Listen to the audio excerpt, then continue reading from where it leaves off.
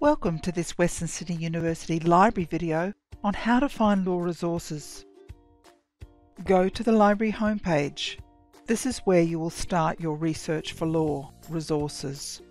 To find law resources, hover over the Resources tab, then click on the e-resources option. Browse the list of subject guides until you find the one for law, and click on the link. In this law subject guide you will find links to both the primary and secondary sources that you'll need to start your assignments. For more information please contact the library either in person or online.